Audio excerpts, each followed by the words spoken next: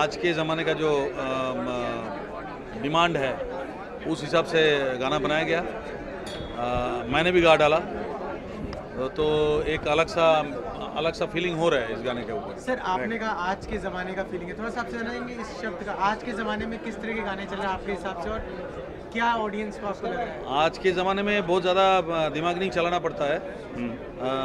Foot tapping होता है। खाली रिदम अच्छा होना चाहिए। चाहे सिंगर जैसा भी हो कोई फ़र्क नहीं पड़ता। आ, ट्यून तो आप जानते ही हो सारा वेस्टर्न कंट्री से लेके आते हैं।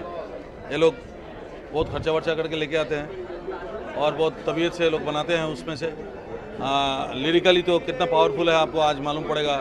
शीला की जवानी या मुन्नी बदनाम या डी के बोस इस टाइप के जो गाने हैं तो पता नहीं ये लोग अभी समाज को कहाँ लेके जाना चाह रहे हैं, ये अभी तक मेरे को पता नहीं चला।